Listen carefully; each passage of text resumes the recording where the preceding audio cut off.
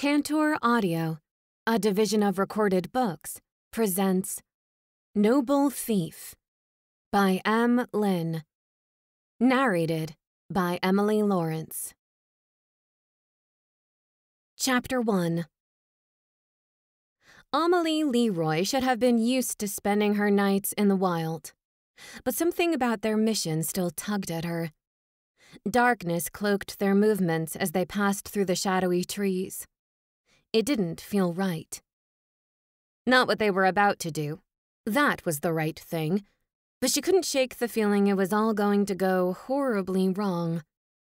Why this night? They'd done this same thing many times before and returned home safely before the sun rose.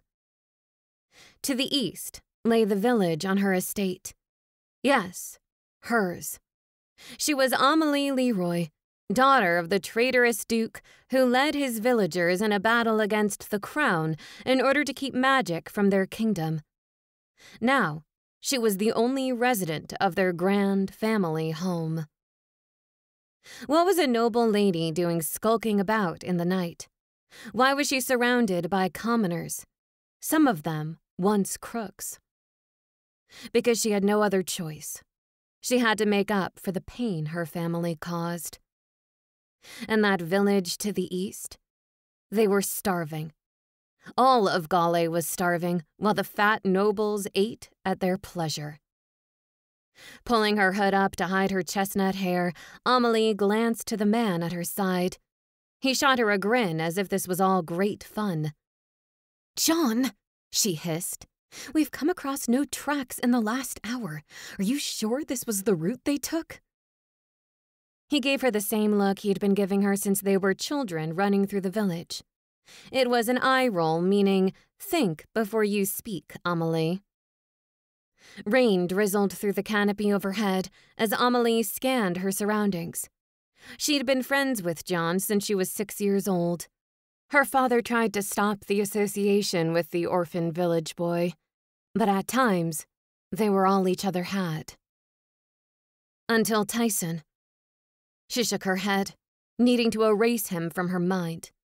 At least for the night. She could think about him tomorrow as she always did after nights like this one. Her feet stuck in the mud with each step, and it oozed around her boots as she tried to move. The mud is covering their tracks. John nodded, pride showing in his eyes. He was a few years older and had always acted like a big brother, teaching her to track and to hunt. When she decided to find a way to feed her people, he hadn't hesitated in joining her. In fact, it was his idea to feed them this way. They'll have ridden through the night. Tuck, positioned near the front of their group as he always was, bent down to examine something on the ground. He straightened and held up a curved metal horseshoe. With any luck, it's one of the wagon beasts. Amalie pushed through her band of men to Tuck's side, reaching for the muddy shoe he offered. The young friar had joined them when she'd needed someone to help her make sense of the life she'd chosen. She lifted her eyes to meet his. We've got them. Tuck's mouth curved up in a smile, and he nodded. That we do, my lady. He sometimes insisted on the formal title, knowing it bothered her. After a year of having Tuck by her side, she realized it was just who he was. Come on, Amalie led the band through the twisted woods. They'll have made for the village for a new shoe. We need to catch them on the road. She pulled her bow from where she'd strapped it to her back. Over three years ago, she'd had her first taste of battle when she rode through the Gaulean palace gates to face her father, to protect those with magic. And again, when she joined Alexander Durand as he led a small group to Drakon to aid in the fighting there. She'd had no skill, no knowledge. But in the years since, she'd trained until her fingers couldn't draw a bow any longer. She'd hardened her body and her mind. She'd become a warrior, fighting for her people, giving up everything dear to her to protect them. The caravan they searched out carried an entire shipment of food to the Ferenz estate in the west. The Leroy lands were in the center of Gaule, positioned to pick off any shipments that passed through, and she enjoyed enraging Duke Ferenz, the man who'd taken control of the Moreau lands, forcing the Duchess from her ancestral home. At the edge of the trees, they saw them. Four heavily laden wagons rumbled in the distance. The roads of Gaule weren't safe for anyone, so wagoners no longer made camp each night. They slept in the back of moving wagons and ate on the road. Do you see any guards? Amelie asked. John shook his head. That's strange, right? Royal guards avoided entering the village. They received a cold welcome and suspicion. Amalie smiled to herself, enjoying the thought of her people keeping the guards away. As much as she once loved the royal family, she'd never trust them or their guard again. They'd allowed Gaule to descend into hunger and chaos. Amalie lifted her bow, tracking the wagoners with one eye closed. She lowered it, knowing they were too far even for her. I'm just as likely to kill as wound at this distance. Ames, John urged. We can't lose them. Before she could stop him, he lifted his own bow and released an arrow. The moment froze in time as they watched the arrow arch through the sky, disappearing in the dark. A scream echoed from the torch bearing wagoners. Amalie didn't smile in satisfaction because worry gnawed at her. Tuck released a string of curses. You might have killed someone.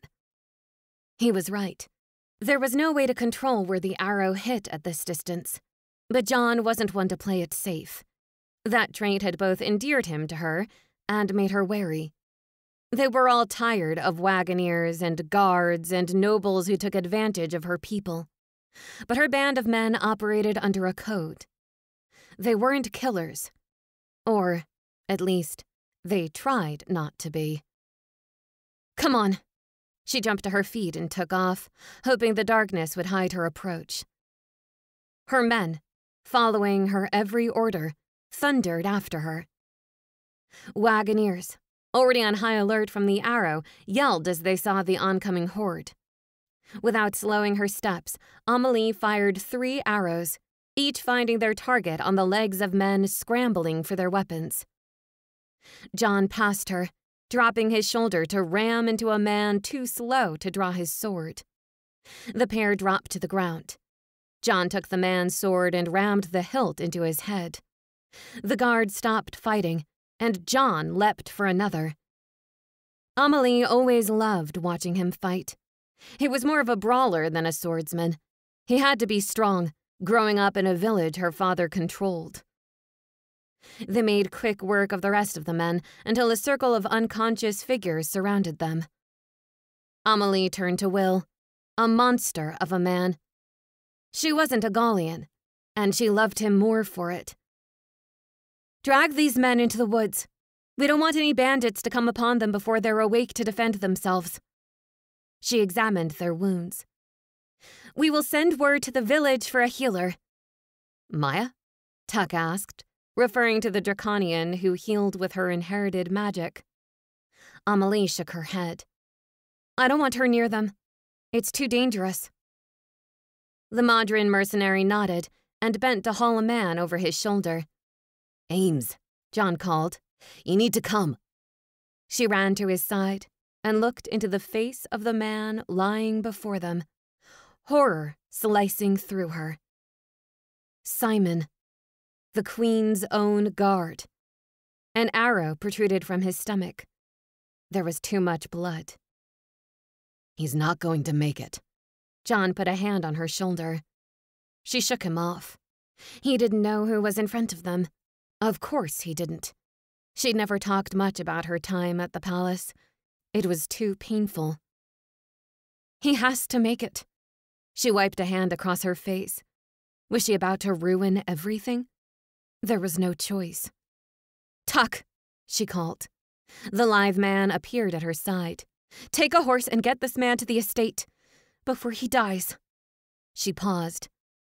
We can allow Maya to help this one. Unlike John, who didn't hide his confusion, Tuck gave a shrug of acceptance and went to unhitch a horse from the wagon. Amalie's men examined the wagon loads of fruit, cabbage, and grain. As Tuck and John hoisted Simon onto the horse, a thought came to Amalie. She pulled John away from the others when Tuck left. What was Simon doing with a band of wagoneers? John's brows drew together. I'm not sure who Simon is. She sighed. That man I sent with Tuck is the Queen's personal guard. His eyes widened before shifting toward the woods. She sent him to guard them. She nodded. And where there's one guard, there's. Shouting cut off her words as men broke from the trees, darting across the uneven terrain, dodging rocks and roots like ghosts in the night. Get to the village! Amalie yelled. Their people would protect them. The guards were on horseback, but her band was much closer to the village. Amalie ran as fast as her legs allowed. John never left her side. Adrenaline pumped through her veins until all she could hear was a rushing wind drowning out the hammering of her heart.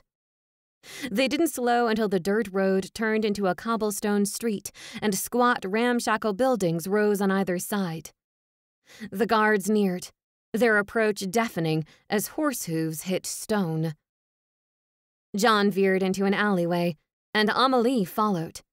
He leapt for the edge of a roof, and his legs collided with the side of the building as he hung from the terracotta stones. His wine colored hair blazed in the night when he threw his head back and strained his muscles. Using his feet against the wall, he pulled himself onto the roof before extending a hand down to her. Amalie didn't hesitate taking it. With his help, she pulled herself up. Her bow clattered to the ground, and for a moment, she stopped. But there was no time to retrieve it. The buildings stood only inches from each other, allowing Amalie and John to escape over the flat roofs. An arrow sailed toward them, but Amalie ducked, managing to stay on her feet. She sprinted across the rooftops, leaping from one to the next. Up ahead, the buildings parted for an alley. She charged ahead and jumped across the wide gap, rolling as she landed. She popped back up. Another arrow arced through the sky, and a yelp of pain sounded beside her. John fell to his knees, the arrow shaft protruding from his thigh. John! she screamed, scrambling toward him. Don't stop, Ames, he wheezed. Don't let them see who you are. I'm not leaving you. She glanced back over her shoulder to where two guards had climbed onto the roof. You have to. I can't run. He gripped her hand. What you're doing is good. But if anyone finds out about you, it's over. Who would the people have to protect them then? Tears streamed down her cheeks. John, go! She placed her forehead against his. I will come for you. Wherever they take you, I'll come. He nodded before pushing her away. Amalie couldn't look back again as her feet took her from one of the most important people in her life. John was her brother, whether they shared blood or not. But he was right. There was more at stake. The guard stopped when they reached John, letting her fade into the night.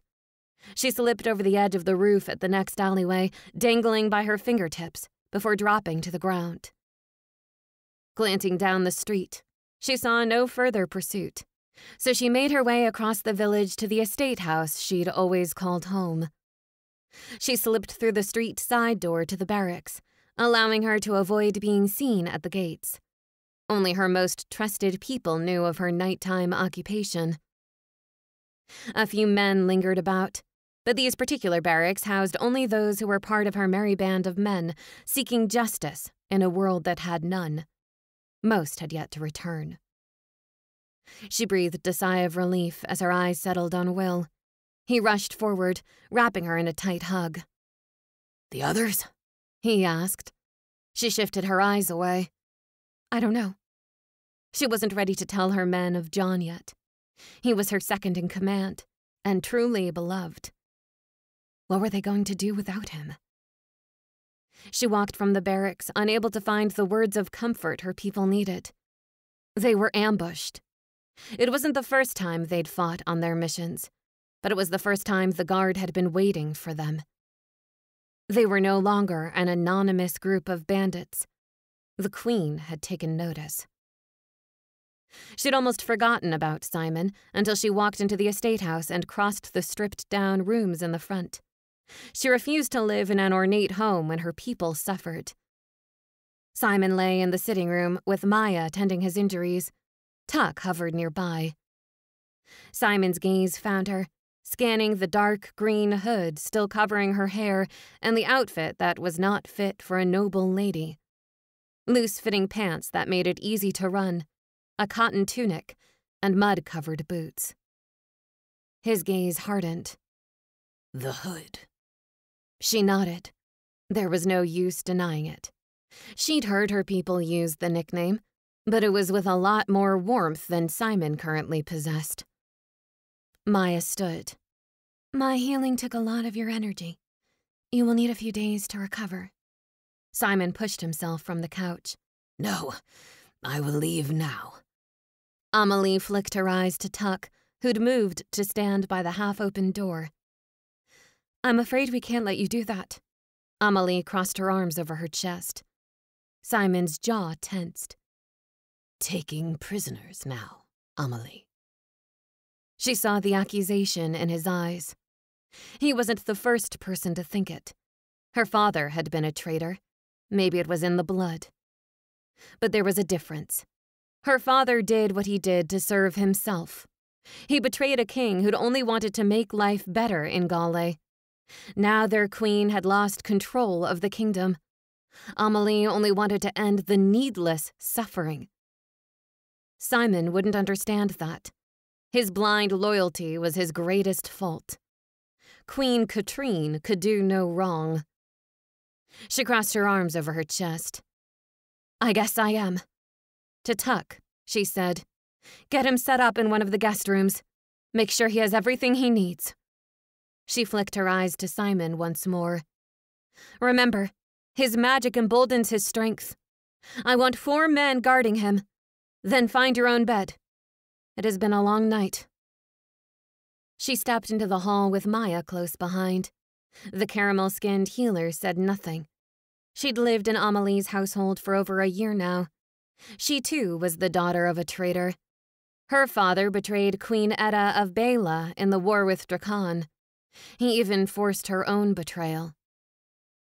After that, the girl felt she had no place in the world. Not in Bela or Drakan. Amalie had the same feeling inside her, so she'd taken her in. And now Maya could read her with a single glance. She knew something was horribly wrong. And yet, she only waited. Reality crashed in around Amalie as everything struck her at once. John. Her entire body shook. The Queen's men have him. Maya put an arm around Amalie's shoulders letting her healing magic soothe Amalie's pain. Do you know the punishment in Gaule for thievery? Amalie lifted her face to peer at her friend. Maya shook her head. Hanging. Like her father. Like her sister. It seemed she was doomed to watch the people in her life meet the noose one by one. Only this time, she couldn't let it happen. What are you going to do? Maya asked. Find him, Amalie breathed. I will find him. Chapter 2 Two letters. One fate. Tyson Durand stared down at the papers in his hands as he sat on the edge of the bed in his small, one room home near the Palace of Bela but he didn't need to read the words to know what they said. He'd committed them to memory. The first came months ago, almost a year to the day after they'd returned from Madra. Camille, the sister he'd once considered power hungry and cruel, no longer wanted the throne of Gaule. Their mother had named her heir once Alexander married and became the king of Bela. No one thought Camille had been an adequate choice at the time, but she'd grown into a woman they would have supported. And Tyson. He was more Belaen than Gaulean. The magic running through his veins should have been an automatic disqualifier. The people of Gaule would never support him. Brother, I know this puts a lot onto your shoulders, Camille had written. You're the only one of us left to carry on the family rule. Durand had ruled Gaule for centuries. His mother wasn't of Durand blood, but she'd married one who was. If he was being honest, Tyson didn't have a drop of Durand blood in him either. His true father was Victor Basile, but he was raised a Durand. His brother and sister were Durands. You're the only one left. He crumpled up his sister's letter. It wasn't a surprise. She was marrying the Queen of Madra's brother and staying in the kingdom across the sea. At least she'd have Helena there with her. She may be queen now, but Tyson knew her. She'd watch out for Camille. Madra was known for its scheming ways, and Len would make sure Camille didn't fall into old habits. Tyson thought of the young queen more often since receiving the letter. Helena never expected to be the queen, Yet she did what she must to help her people. Helena was the noblest ruler Tyson had ever met, aside from his sister, Etta. He'd waited patiently for the other letter he held, and it only confirmed his fears. It was a summons to the palace of Gaule. His mother had a plan. She always did. He didn't know when he'd grown to distrust his mother. Maybe it was when she sold Quinn Rhodopus to his brother after Cole Rhodopus stole the throne of Madra. Maybe it was when she allowed Gaule to fall to pieces. She'd lost control, and that was unlike her. He stared at the summons again. What would she do if he refused it? Send another, and another. She wouldn't give up. Eventually, She'd send Simon across the border to drag him to the place he'd once called home. He couldn't refuse her, no matter what he thought of her decisions. She was his mother, and she'd always protected him. Footsteps sounded in the doorway of his house. He'd helped build it himself and loved every inch of it. It was time he had his own space. He couldn't live with Alex and Etta forever. A throat cleared, and he looked up into his sister's sympathetic eyes. Etta was once a cold and seemingly uncaring woman, but the past couple of years had made a difference in her. She was. happy. It stopped grossing him out that his brother and sister were married the minute he saw them in their new home. Alex and Etta shared no parents, but they each shared one with Tyson. Etta kicked the door closed behind her and threw herself down beside him on the bed, taking the paper from his hands. When did this come? she asked, scanning the document. He sighed.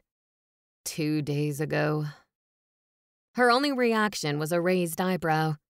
None of them had reconciled with his mother after she openly supported the usurper king in Madra. Maybe it's time? She passed the paper back to him. He pushed a hand through his dark hair. I know. Something is happening in Gaule, and I need to know why my mother has let it fall so far. Etta pursed her lips. Ty, being a queen isn't easy, even in a kingdom like Bela, where the people support my every action. I can't imagine what ruling Gaule must be like. That kingdom has always danced on the edge of a knife, ready to fall into disruption and chaos. She squeezed his shoulder. I don't want you to go alone, though. It isn't safe. Take Edmund. Edmund has refused every mission you've assigned him that would take him away from Estevan. Edmund's boyfriend had suffered many traumas at the hands of his own brother in Madra, Cole Rhodopus, a man who wanted Estevan's throne, a throne Estevan ultimately gave to his sister. Stav needs separation, she finished for him. He gave up his throne in Madra and hasn't been able to fully settle here because Edmund keeps watching his every move as if he'll break. It's been more than a year, and Estevan needs to stand on his own two feet. I'm going to give him a position working for me. He knows how to run a kingdom, and I don't want Edmund hovering. So you're making me deal with Edmund? She nodded. Please, just take him. The corner of her mouth curled up. Before I tie him up with vines and hang him over the cliff just so I can get peace and quiet in my house. Tyson almost laughed at that, but he didn't find humor in many things lately. Etta had the magical ability to make things grow. It wouldn't be the first time she used her powers on Edmund, but he usually deserved it. He may have his own home with Estevan, but he spent just as much time imposing on Etta's. Tyson sighed, and Etta grinned. They both knew Tyson felt better with Edmund by his side. Over the past few years, he'd been his best friend. The only person who didn't ask him why returning to Gaule whenever his mother asked hurt him so much. He seemed to understand without Tyson having to say her name. Amalie. Tyson laid back to stare at the ceiling, his chest constricting. I guess I'm going to Gaule. Etta laid beside him and bumped his shoulder. Hey, you know it'll be okay, right? He snorted. You always say that. And I'm always right. She was quiet for a moment. Maybe when you're there, you can't. Don't finish that sentence. He knew what she'd been about to say. I don't understand any of it, Ty. You and Amalie. He cringed at the sound of her name. Etta continued. I was sure you two would last forever. He had thought so too. He'd fallen in love with Amalie Leroy when she was betrothed to his brother, Alex. She'd become his friend first, exploring the castle at his side. She'd fought beside him in battle and risked her life for his. He would have done anything to keep her safe. Etta, she gripped his arm. Edmund told me about the last time you saw her. They'd taken Helena and Dell to Amalie's estate because Dell was mortally wounded and needed the magic of a healer in Amalie's residence. He said there was a lot of anger between you two. I've seen you change over the last two years, Ty. You've gone from the happy boy I knew to a man with hardness in his eyes and drink in his belly. He turned onto his side to face his sister. They hadn't grown up together, but he felt like he'd known her his whole life. I know you're worried about me, but I'm okay. Do you promise? He nodded. She closed her eyes for a moment before sitting up. I won't keep asking you about it, Ty, but I hope you know I'm here for you. His lips tilted into a rare smile. Will you tell Edmund you're kicking him out of the kingdom, or shall I? Before she could answer, Tyson's door burst open and a panicked Alex rushed in. Etta sat up. What's wrong? Alex's eyes flicked around the room as if searching for something he knew wouldn't be there. Victor, he's gone. Gone? Etta jumped to her feet. What do you mean, gone? One of the few things Tyson enjoyed lately was watching Etta and Alex obsess over their new son, named for her father. Alex ran a hand through his hair, making it stand on end. I left him asleep in his room and walked out to the stables because Verity was kicking his stall. After I fed the beast, I did more work in the barn. By the time I returned to Victor's room, he disappeared. This is why I keep saying it's time to have guards stationed at our home. Etta's jaw clenched as worry entered her gaze. Okay, don't panic. We can't panic. Alex's eyes widened. Don't panic. Our son is gone. It's the perfect time to panic. We have too many enemies. Etta shook her head. No one from Drakan or Gaule could get through Bela unseen. We'd have heard about it. Well, then where is he? Alex yelled. Tyson scooted to the edge of his bed. He knew exactly who had Victor, who always took him. But Etta and Alex weren't of sound mind. They didn't notice Tyson pushing past them into the sunlight beyond his door. The seaside village bustled around him. Carts full of fish and grains rumbled down the road, pulled by raggedy looking horses. Shopkeepers did their best to attract customers, wafting smells out onto the streets. Tyson's stomach growled, but he didn't stop. He reached the end of the road and turned the corner into an alleyway leading to a door he knew too well. He pushed it open without knocking to find a laughing Victor lying on the fur lined rug on the floor. Edmund hovered over him, tickling his sides and muttering nonsense in a voice he'd never want anyone to hear. Tyson shut the door. Again, Edmund. Edmund glanced up, not surprised by Tyson's presence. He only shrugged before returning his attentions to the baby. Tyson crossed his arms. You realize he's Alex's baby, right? Tyson counted in his head, waiting for the door to open again. Etta and Alex only needed a calm moment to think before realizing where they'd find their son. The door opened, but Tyson didn't turn. Edmund kept his gaze on the kid. Alex is a boring old man who doesn't snuggle this baby enough. Alex cleared his throat. Edmund still didn't look at them. Yes, Victor, I know your papa can hear me. It doesn't make it any less true. Aren't you glad your Uncle Edmund is around? Edmund, Etta sighed. You can't keep taking him. Edmund lifted Victor from the floor and cradled him against his chest. I'm his uncle. If I walk into your house and find him awake, I can't just walk away. He was looking at me with these eyes that said, Snuggle me. Tyson suppressed a laugh. Snuggle me? Alex held out his arms, but Edmund shook his head. You're just jealous of my snuggles. Stop saying snuggle, Edmund. Tyson covered his mouth with his hand.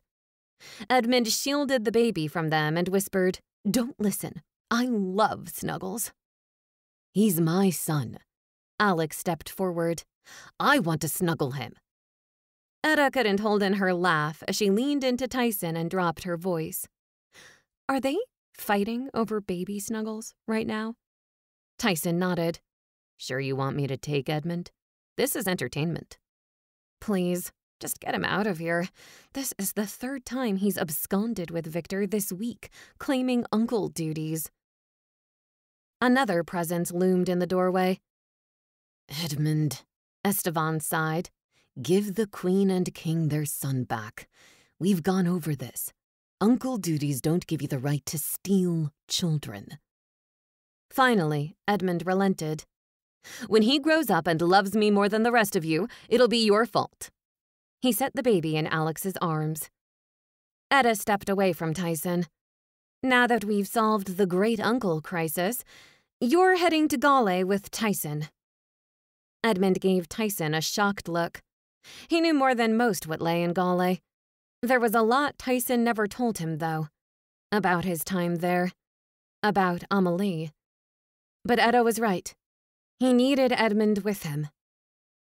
Edmund always had his back.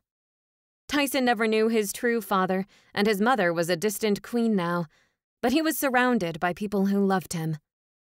Amalie Leroy never had such a family. Before heading into Gaule, Tyson had to clear her from his mind. He wouldn't be going near the Leroy estate. It was time he stopped dwelling on his past, because Amalie Leroy had no place in his future. Chapter 3 Three years ago. War ages a person. Tyson felt every one of his 16 years, and many more. In Gaule, most commoners would be married at his age. They'd spend their days working the fields or manning their shops, and then go home to a family. Each day would be the same but not for a prince who didn't know which kingdom was his. He was raised as the son of the Gaulean king, only to discover his true father was none other than Victor Basile, descendant of the Belaen kings. He had magic, but still didn't know where he belonged. Among the magic folk? An arm wound around his waist, and he relaxed his stance to let Amalie into his moment. Why are you out here all alone? Her voice calmed the darkness inside him, washing away the confusion in his mind. He knew where he belonged. With her. It's hard to think around the noise. He closed his eyes, listening to the waves crash along the shore. She leaned into him, letting the silence sink into their bones. Only a week ago, Tyson rode beside his sister, Etta, as she faced the sorceress, La Dame. They'd won, but it hadn't come without cost. He'd thought everything was lost. He'd lost faith in Etta, in himself. And then the wall crumbled to the earth, and on the other side was Alex. His brother had come. Behind him was a small Gaulean contingent. Amalie rode at his side. She'd faced the worst thing any of them had ever seen. For him. He tightened his grip on her. If he hadn't known it before, he'd realized it then. Amalie Leroy was his future. They'd never crossed the line between friendship and more. Growing up, she'd only been Alex's betrothed.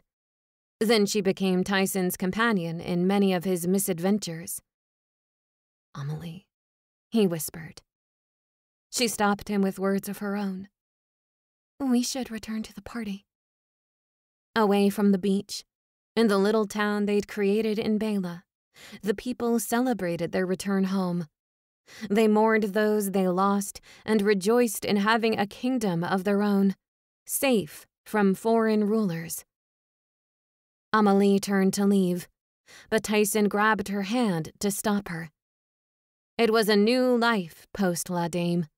Their world had fallen down around them, and yet here they stood. Maybe it was their chance. Ames. He tugged her back toward him, and she turned. Dark eyes peered up at him, lit only by the silver starlight. Her lips parted as she released a breath. His lips curved into a smile. I. I'm not sure I'm truly a prince anymore. Her brow arched. He went on. I have nothing. No house to call my own. Not a gold piece in my pocket. He squeezed her hand tighter. My only skill, that of the sword, is no use in peacetime. Amalie's laughter was like music punctuated by the drumming of the sea. Ty, I can honestly say I have no clue where this is going. Just listen, okay? She nodded. I am nothing. Not anymore. But, Amalie. His hand drifted up her arm and over her shoulder until his fingertips skimmed the curve of her neck. Amalie's smile fell as the words hung between them both said and unsaid. She dug her fingers into his shirt and pulled him forward. You're wrong, Ty. Her words were only a whisper against his lips. You could never be nothing. When she kissed him, Tyson believed. In the future. In himself. The war was over, and there were so many possibilities. One thing had never changed. He loved Amalie Leroy. Chapter 4 Home. It was a strange word, implying a warm feeling of comfort. As Tyson glanced up at the towering walls of the palace he'd once called home, weariness sat in his stomach like a stone. The last time he visited the Gaulean castle, he escorted the Princess of Madra on a quest to save her brother. So much had happened here, and not much of it good. Edmund rode up beside him. The Palace of Gaule is so grand, yet I'd rather ride toward the small home Etta calls the Belaen Castle. Tyson didn't take his eyes from the wall as a foreboding stirred in his chest. Me too. Edmund wasn't happy about leaving Stev, but, as Tyson knew it would, his duty overrode personal feelings. Stev had pleaded with him to go, to keep Tyson safe. He said he owed it to Ty after how much he'd risked to put Helena on the Modron throne. Tyson didn't see it that way. He needed something to fight for. It didn't matter it was a foreign princess battling with one of her brothers, or that Etta initially said Bela didn't belong in the war. She'd eventually come around and done what he knew she would. Unlike his mother. Ignoring Edmund's chatter beside him, Tyson rode through the open gates. The outer castle teemed with activity. It operated much like a village with shops and rows of houses. His horse knew the way, because he'd been there many times over the last three years. At the stables, a lad he didn't recognize took the horse from his care, leaving Tyson to walk through the inner gates on foot. A row of guards lined the inner wall, recognizing him. They made no move to stop him. A few men Edmund knew at the stables had stopped him to welcome his return. Tyson didn't wait. Edmund would catch up. Familiar walls greeted Tyson, with shadows of the past. Tapestries that had hung in the hall since he was a child marked his way. Outside the castle walls, Gaule was almost unrecognizable with its constant rebellions, dangerous roads, and starving people. But inside, all seemed right with the kingdom. Was this how his mother insulated herself from the problems facing her people? Did she stay among the paintings depicting great victories and prosperity, imagining they resembled the present world? The serving staff seemed smaller than before, but people still bustled through the halls, going about their morning tasks. He'd visited enough to know his mother's routine never changed. At this hour, she'd be sitting in the throne room, allowing select people to bring forth their troubles. It was a practice she'd adopted only after the battle with La Dame. She wanted to seem as if she truly cared about them. The sad thing was Tyson didn't know if she actually did. The crown had changed his mother. She'd transformed from the loving woman she once was into a cold and unfeeling ruler he no longer recognized. Two guards nodded to Tyson and allowed him entrance into the throne room. His eyes found his mother. She sat on the throne, her back straight, her eyes hard. In front of her stood a gaggle of Gaulean commanders. The queen nodded, seemingly deep in thought, before addressing a woman nearby. I understand your situation, and will have my people look into it. The bandits will be apprehended. The woman thanked her, and the queen stood, her eyes sweeping the room. When they landed on Tyson, a spark of life entered them. It was gone just as quickly, and he wondered if he'd imagined it. I'm afraid that is all we have time for today. She stepped off the raised platform, and two guards escorted her to a private entrance at the side of the room. Sir, a guard approached Tyson. The Queen has requested you come with me. Tyson nodded and followed him without a word. He didn't need an escort. He knew where his mother was having him meet her. The private royal residence seemed so devoid of life, with only the Queen living there. Once upon a time, Tyson had shared the hall with his brother, sister, and both his parents. Even Etta lived there for a while. His heart hurt for his mother, and sudden regret had his steps speeding up. He'd dreaded returning home, forgetting his mother was all alone. The guard knocked at the door to the Queen's sitting room before pushing it open. Tyson stepped inside, his eyes scanning the familiar surroundings.